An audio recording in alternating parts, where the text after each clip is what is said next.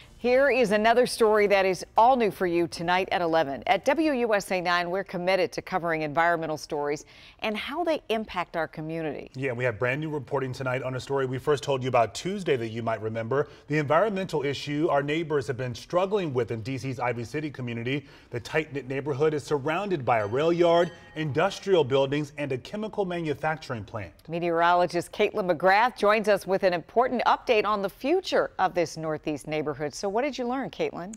Well, Leslie and Lorenzo neighbors gathered tonight at Trinity Baptist Church in Ivy City for a community information session with the Environmental Protection Agency and Department of Energy and Environment addressing ongoing pollution concerns largely tied to that chemical manufacturing plant that sits right on the corner of their small neighborhood. And residents did not mince their words. They want national engineering products gone.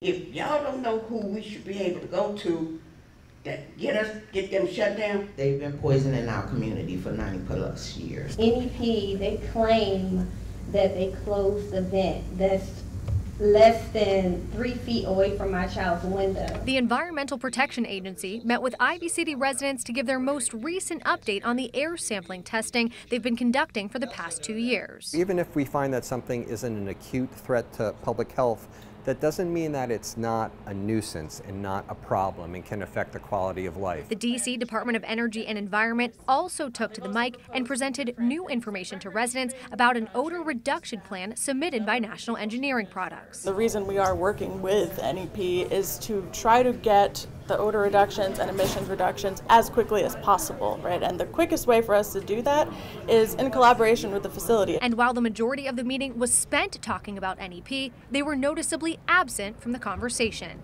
The EPA told me they were invited to participate, but chose to listen to the meeting virtually and anonymously. Residents told me they were frustrated and left with more questions than answers. We want NEP gone because it's not fair. I have a house, I sit on the porch which I would love to enjoy, but I can't because of the smell. WUSA 9 was first to report. D.C. Councilmember Zachary Parker put forward new legislation today to give Mayor Bowser the authority to remove the chemical factory through eminent domain. We do think it's a positive longer term land use change solution, um, and I would like to say that we, we, really need to see more leadership from Mayor Bowser as well on environmental justice and, and tackling this issue of the over concentration of pollution sources in these communities in Ward 5.